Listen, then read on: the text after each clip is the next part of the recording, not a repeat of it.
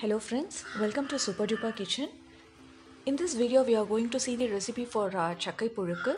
So this is one of the most popular uh, dish in Kerala and uh, Puzhukku can be made with uh, uh, tubers, yam and um cooking bananas, uh, banana, etc. So I learned this recipe from my uh, grandma. So here is the recipe for you. So for this, I have taken 10 half ripened uh, jackfruit. It should not be ripened well as, as well as it should not be raw. And one cup of shredded coconut, then a little bit of mustard urad dal, red chili and curry leaves. So it is very easy to make. So the first step is to remove the seeds uh, out of the jackfruit uh, and then we have to slice it lengthwise so make sure that the jackfruit is only half ripened it should not be ripened well then you will not get the exact uh, taste. So usually this is served with a porridge that is made in kerala. So now the jackfruit uh, slices are ready. So we are going to add some uh, salt then uh, turmeric powder and then a little bit of uh, jaggery so we can uh, add the jaggery according to our taste. If we need it more uh, on the sweeter side then we can add it more.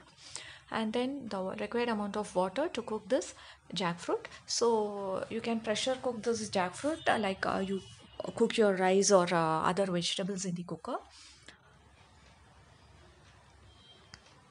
So jackfruit has been cooked now the next step is to transfer this cooked jackfruit into a heavy bottomed vessel and we are going to mash it well. So uh, you, you can see that there are a lot of water in this. So we have to get rid of those water so allow it to boil for some time.